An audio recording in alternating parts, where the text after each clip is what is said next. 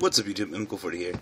I wanted to congratulate everyone that entered into the Abyss Rising box giveaway. Uh, it was a really well fought out battle for you guys. 2,000 entries, well there were over 2,000, but it was absolutely amazing.